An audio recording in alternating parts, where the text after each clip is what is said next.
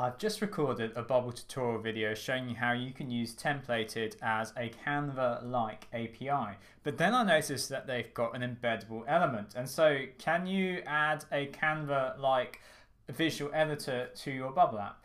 Yes, yes you can. Let me show you how. It's going to only take a few seconds. So I'm in templated. I'm on a free plan. They've got a generous plan to let you try out all their features.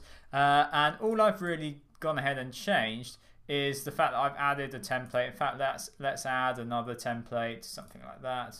Add it in, uh, save, uh, and we'll go back to dashboard.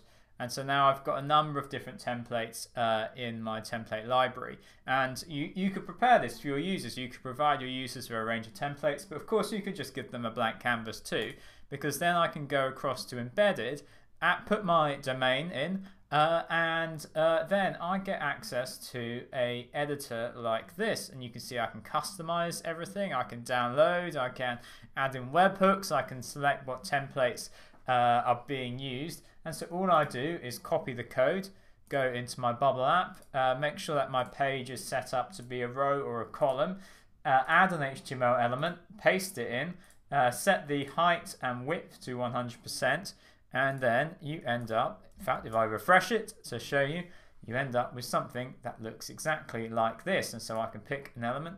Uh, and this is all embedded in my bubble app. Let me just prove that to you.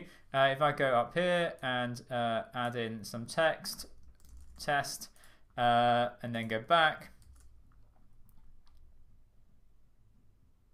There it is. Okay, this is just like a full screen embed in my bubble app, but it doesn't have to be full screen. It's in there. Uh, and then of course, if I go back in here, I can change uh, where the, the, the logo at the top, I can change where it navigates to, but it basically is a Canva style graphic graphics editor, visual editor that you can embed in your Bubble app to allow your users to make Canva style like graphics in your Bubble app. So if you've got any questions, please leave a comment down below. Do check out my previous video where you don't need to embed the editor. You can just use your templates, have placeholders and populate them via an API.